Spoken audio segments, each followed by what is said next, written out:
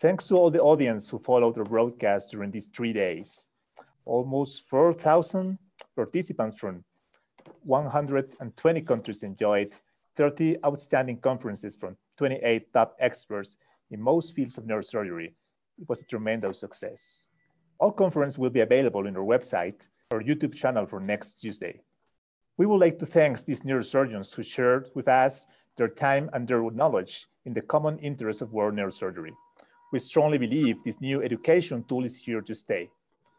By participating in this event, you helped us to organize this boom of academic uh, video conferences, standardized high quality, and reach the highest academic standards.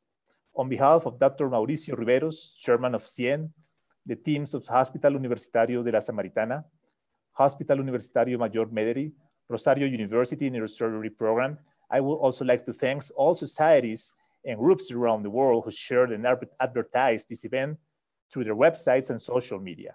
We have created academic connections all around the world that we are sure will become strong and enduring.